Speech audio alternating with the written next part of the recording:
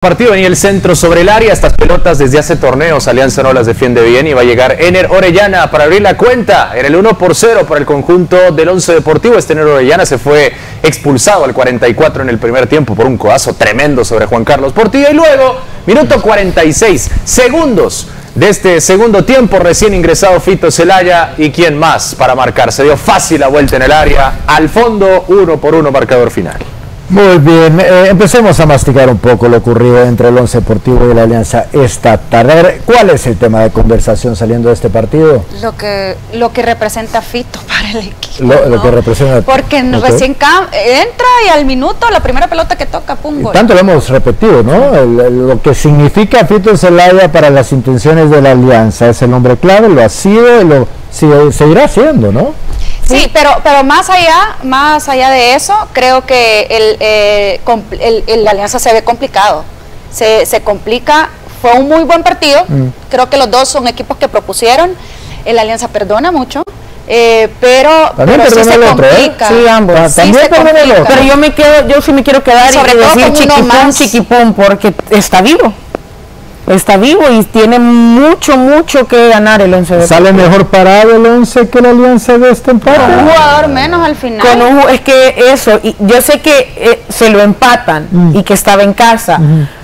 Pero... Porque yo hubiese pensado, y aquí te lo tiro a ti Nelson, que tomando en cuenta el contexto histórico entre estos dos equipos, ¿no? Y tú lo dijiste, fiscal, la paternidad de Alianza sobre el Once Deportivo, que para mí este era un partido que necesitaba ganar el 11 en casa si quería realmente aspirar a una final. No fue así, empató. Yo entiendo, yo entiendo, con uno menos durante 45 minutos de la segunda mitad, sale vivo el Once Deportivo. Pero, porque le va a servir un empate y ganar claro, claro, claro, es que ese es, el punto. Entonces no podemos decir que sale mejor parado porque este era su cartucho más importante. No digo que ya esté resuelta la serie, porque la serie está abierta, están 0 a 0. ¿no? De seguir en empate se van a penales. Pero la mejor oportunidad para el Once Deportivo era en casa. Y tuvo oportunidad para llevárselo y no lo hizo. Más allá del resultado, ¿quién dejó un mejor sabor de boca? Yo creo que el once deportivo, porque incluso con uno menos domina la alianza y lo mete sobre su barco. Y, y, siguió, y siguió, buscando, siguió buscando el gol. Y Pero eso, eso, mismo te dice clarísimo las intenciones del once deportivo. Y, el sabor de boca no es tan bueno. Así es. Pero eso, una cosa es el resultado, otra cosa lo visto en cancha. Ahora, ¿a qué salió a jugar en la alianza? No, la alianza sale a ganarlo. Mira, llegó un momento, y lo decíamos en la transmisión con, con, con Bundio, y, yo le mencionaba, y él, concuerda conmigo, le digo, estamos en un momento del partido prácticamente sobre el setenta y tantos, casi ochenta, y yo le digo, da la sensación que el partido está para que lo gane cualquiera, para quien esté más lúcido al frente. Ninguno de los dos estuvo lúcido. Ahora, después de la expulsión, el Alianza entra y hace lo que tiene que hacer, empate el partido. Pero poco a poco, no sé si los cambios no le funcionan al Tigana, y se crece el once deportivo porque ve que le dan terreno, Melvin Cartagena se comienza a hacer de la pelota en el medio campo, comienza a hacerla fluir bien y Medrano se da cuenta que puede él solo contra los centrales de la alianza y ahí se crece el 11. Hay, muchos giros en el guion del partido. Quiero ir con el primero, porque ya es algo repetitivo en esta liga para la alianza y es que le metan gol en los primeros minutos del partido. Ya es una tendencia, ya no es casualidad. ¿Preocupa esto? Sí, sí, te voy a decir, muchos dicen, y lo hemos dicho aquí, que eh, el Alianza tiene la capacidad de reacción. Pero también a veces sucede porque el rival se lo permite, pero te vas a encontrar en un momento en el que el rival definitivamente no te lo va a permitir, no va a cometer ningún error y quizás tu capacidad el problema es que hasta el momento no se ha encontrado. No se ha encontrado, pero estoy en algún punto va a llegar. Eh, tarde o temprano los, los, nunca siempre llegan y de repente esa tu capacidad de reacción que tiene la alianza ya no va a funcionar y vas a terminar perdiendo por la mínima porque no vas a poder darle vuelta al marcador, se te va a cerrar, no va a ser tu mejor noche y va a ser la mejor noche del rival o tarde y ya no vas a poder resolver y va a ser muy tarde. Eh, ¿A qué salió a jugar el 11? El 11 también salió a, ganar.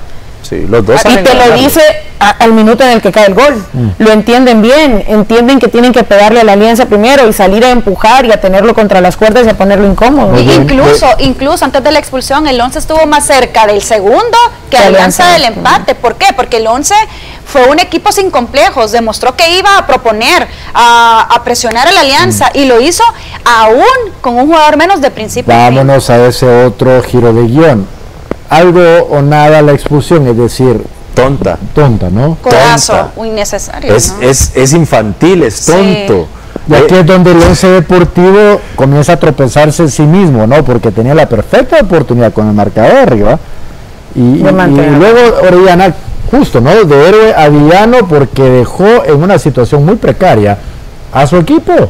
Y, y, yo creo que hay otro tema también, y te lo voy a agregar porque ya vamos a ir a declaraciones el arbitraje fue muy flojo para eh, ambos. el, arbitraje fue flojo. ¿Cuántas tarjetas? o sea, pero las tarjetas hubo eh, minuto 34, un claro penal a favor de la Alianza. Sobre Víctor Arboleda. Y luego en la segunda mitad, otra, ya en la recta final. Era penal para el Once Deportivo también. Ah. Tuvo que haber sacado tarjetas amarillas porque hay una que Jonathan Jiménez, una contra de Edgar Medrano, mm. se va solo, lo viene acompañando su compañero, valga la redundancia, atrás y viene Jonathan Jiménez sin pelota, le mete una patada abajo y el árbitro no pita ni falta ni tampoco le saca tarjeta amarilla. Se equivoca para ambos lados, juzga mal, no saca tarjetas que tenía que haber sacado. La expulsión está buena, se la damos por buena, pero penales para los dos equipos no lo pitó. Bueno, vamos a ver qué ocurre. La serie está más abierta que nunca. Un empate a uno le permite soñar a cualquiera de los dos. Nos vamos contigo, fiscal. Y nos vamos a continuación con declaraciones de los protagonistas.